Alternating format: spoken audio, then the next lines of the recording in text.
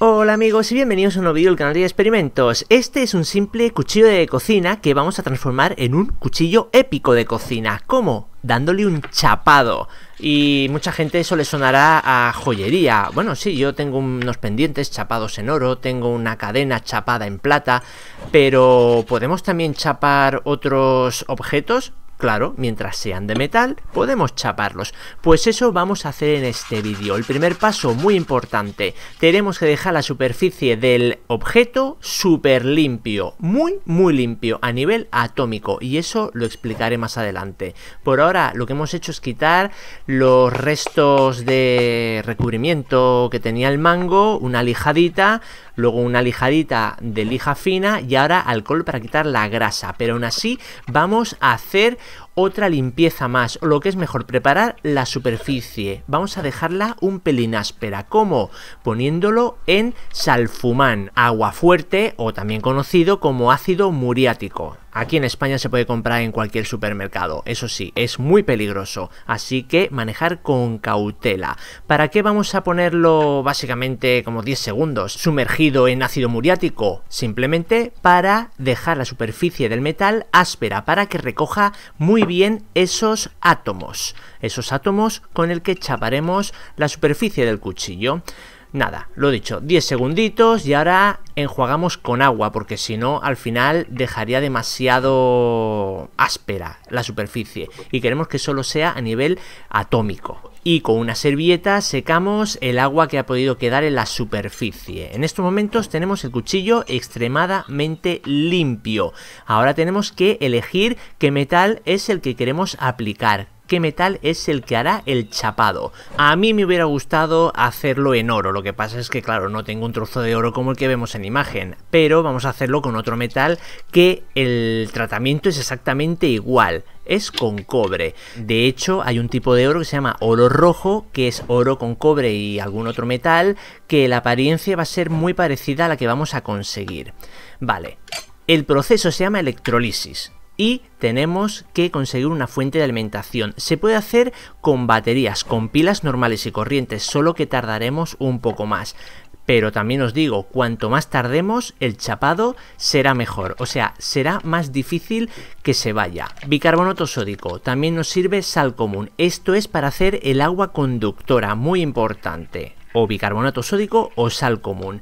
Lo he puesto a 3 voltios, por lo tanto podemos hacer el mismo experimento con dos baterías AA. Y lo dicho, funcionará perfecto, solo que tardaremos un montón.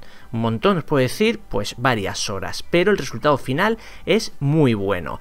Yo, como lo estoy haciendo para el vídeo, voy a aumentar el voltaje un poquito, de hecho luego lo pongo sobre 10-12 voltios y claro, pues es muchísimo más rápido. Básicamente en 10 minutos tenemos chapado cualquier metal. Y como siempre tenéis que aprender algo en mis vídeos, os voy a decir que son los iones, que si os fijáis se ven como ese río azul verdoso que se dirige hacia el cuchillo, hacia el lado negativo. Los iones son átomos o grupos de átomos con carga eléctrica. En este caso, como van del positivo al negativo, son con carga positiva. Se llaman cationes. Si fueran en carga negativa serían aniones. Y ahí lo tenemos, apagamos la fuente y la electrólisis finaliza.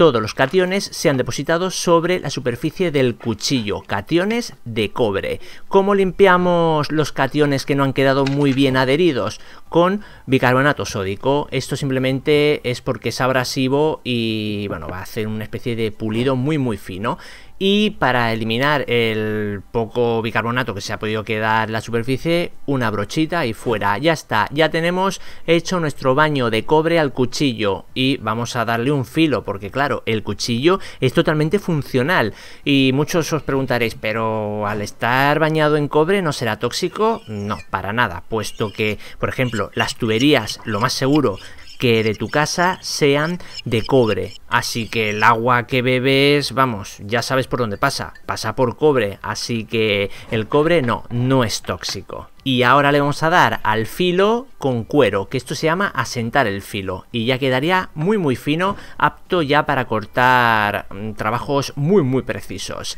Ahí lo tenemos, cuchillo precioso en color cobre, muy muy poco visto la verdad, en cuchillos de cocina que sean de este color, pero bueno, funcional, corta genial y lo dicho, apto para cortar cualquier tipo de alimentos. Y ya que tenemos el baño electrolítico lleno de iones de cobre, voy a aprovechar para chapar una moneda de 50 céntimos de euro. En cuestión de dos o tres minutos es mucho más pequeñita y ahí la tenemos ya chapada. Así que desconectamos y limpiamos como hemos hecho con el cuchillo, un poquito de bicarbonato y queda preciosa. Es una moneda que claro, ahora vamos a ir a una tienda y no nos la van a aceptar porque no es dorada como la otra. Pero si queréis quitar el chapado, le damos un poquito más con el bicarbonato y acabaríamos retirándolo y dejando la moneda como estaba anteriormente, dorada. Aquí tenéis un par de vídeos más que seguro que os encanta. Si os gusta la electrónica y los experimentos, te invito a ver cualquiera de ellos, seguro que te gustan. Hasta luego compañeros, chao chao.